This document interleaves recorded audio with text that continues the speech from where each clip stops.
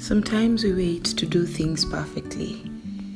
And because of that, especially those of us who are perfectionists, we end up doing nothing. Because then what happens is that we procrastinate. You know, you tell yourself, until I have the right tools, until I have the right resources, until I have everything I need. But then you realize that time never comes. Today I'm just going to talk about why wait. Get yourself a cup of something and let's talk.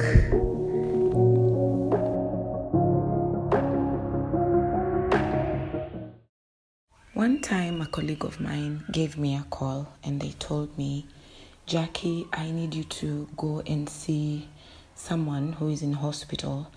And this person happened to be a lady that I had met, so I knew the person.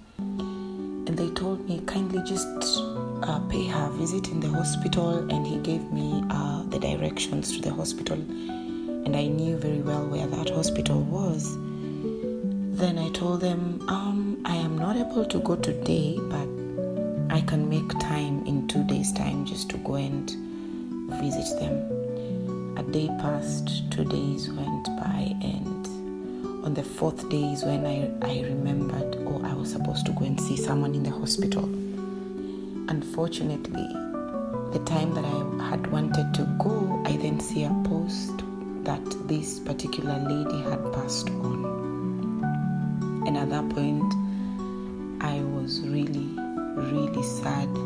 Sad not just because she passed on, but because I had lost on time. And many times we find ourselves uh, in such scenarios and maybe even different ones. Sometimes we think we have all the time to do everything we would ever want to do, but then you realize we do not have much time as we think. Sometimes we make decisions to do exercise, for example, and you say, This year I'm gonna do exercise, I'm on I'm gonna, you know, uh, have a different diet, I'm going to change this, I'm going to change that. Then the moment you wake up, you realize it's already six months down the line and you haven't started nothing. Therefore, why wait? Why do we wait to do things? If I am, for example, to talk about this recording that I'm doing, I remember almost two years ago, close to two years ago, uh, I had an impression in my heart that I needed to start um, a YouTube channel and just have these conversations. And I remember that time I shared the same with my husband. And one thing he told me, he told me, whatever the Lord puts in your heart to talk about, just write it down. Begin to just jot down everything that comes to your heart. And I remember I obeyed at that time and I started writing anything that would come. If I'm in a meeting and the Holy Spirit drops something, I would just quickly write it down and I was faithful to do that. But then when it came to now executing, uh, or rather just doing the recording, I was almost uh, always saying, "Oh, I'm waiting for the right equipment. I'm waiting for the right environment. I'm waiting to learn this. I'm waiting to learn that." Then I realized months and months and months were passing, and I had done nothing. And the reason is because I always waited to do it perfectly. I always waited to do it like so and so and so and so and so and so.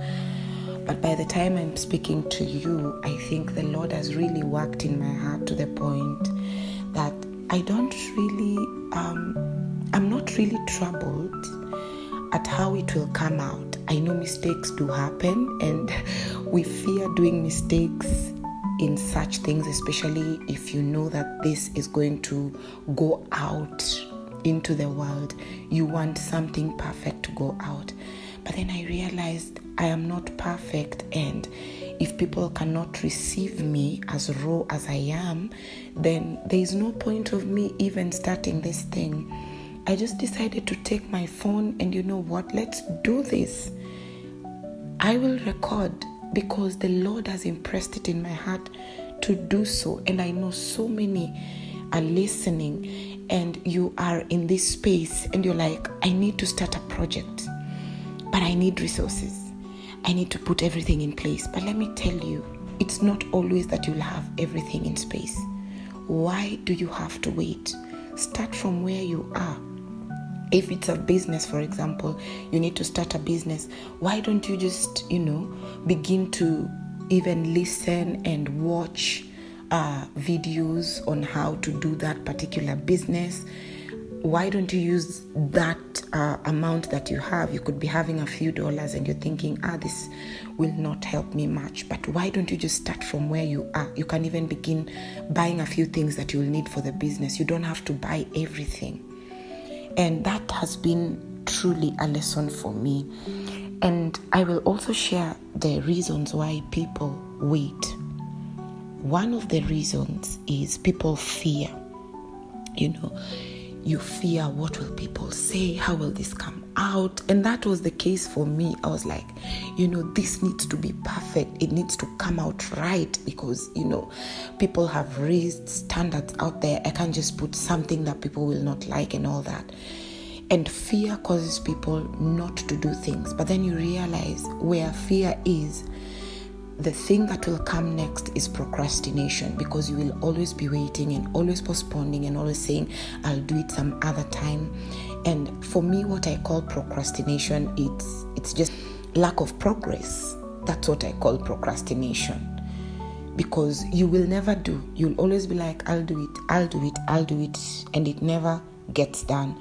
So second thing that i'm going to share is thinking that you still have time to do it. I think I can tie that up with procrastination because you're there and you're thinking, okay, I can do it tomorrow. Then tomorrow comes, ah, I can do it in the evening. And that's the same with prayer. Sometimes we plan to pray, but and you're like, I need to spend time with God. So you say, okay, when I come from work, I'll take some time and spend with God. And God is so faithful. When you come from work, you realize you have nothing to do, but then you say, I, I feel so tired. I think I'll just do it in the morning when I'm fresh. Then morning comes and you have to go to work and you have to postpone, and the cycle continues, and you never get things done, even where prayer is concerned. The other enemy is feeling like you're not good enough, you know you're feeling like, you know what, somebody else should do it, not me. I don't feel I'm able to. I don't think I'm the best, uh, you know, I'm best suited to do this. And you're thinking somebody else should do it. You know, that spirit that causes you to feel like, you know, it, it, it's almost like you're looking down on yourself and you're thinking somebody else can do it better. That's also an enemy. Also, fear of criticism you know you fear what will people say you know um, I might put this up on social media and I will receive critics. I don't think I'm ready for that. And you see, life is all about taking risks. For me, what has made me to just decide, you know what, I'm gonna do this no matter what, is because I know I have God in it. God is in it. He is the one who uh, impressed this in my heart to do it. Whether it's going to be to be terrible in the eyes of the people, I am going to do it. So, as long as you know God is with you, and you know that you have, you know, His word concerning what you're about to do, please go ahead and do it, baby girl. Do it. Don't fear. Don't allow those voices, you know, critics and you know naysayers and all these voices to cause you not to do what God is calling you to do. So I'm going to encourage you to start that which you have been promising yourself you will do if it is changing your diet. Start now. The next meal you're going to have make sure it's it's a balanced diet. That's how you start if it's prayer do it now. Start, even if it's just five minutes, and say, the next five minutes, I'm gonna spend time with God. That's how you start. You, you, you, you know, you don't have to do a one hour thing or two hours of prayer and you know doing all that just start with your five minutes you're able to do five minutes do it if it's a business start small you know take in bite sized chunks rather that you're able to you know take in. Do it as you know in a small way as you can. Do it consistently and you will see you will see the fruit. And god will will keep on you know cheering you on. You just do it. Don't fear. If it's changing diet change diet. If you've promised yourself i'll start to exercise. Start now. If you're writing a book just start with that you know. Write it down on your on your on your uh, notebook. Just write half a paragraph. Just begin with that. And you will see yourself progressing slowly by slowly but surely. If you've promised yourself you want to move houses you know do it. Don't fear. If it's clearing your debt start where you are and as i'm talking about debt this is something that my spiritual father really helped me um, to start doing I remember I had a debt. Whoa. I didn't know that I would ever finish it.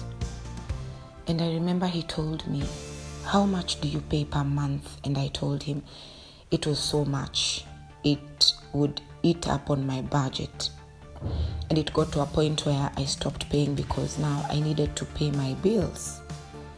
So he told me don't pay a lot of money, especially if you're not able to. What you need to do is just pay something small, but do it consistently. For example, pay like just $5 every month, but just make sure that every month on a particular date you pay that amount. And I thought, wow, I think that's something I can be able to do. And I realized I used to pay just something small, but I would make it every month because it was something I could easily do. And I realized I was not being called by my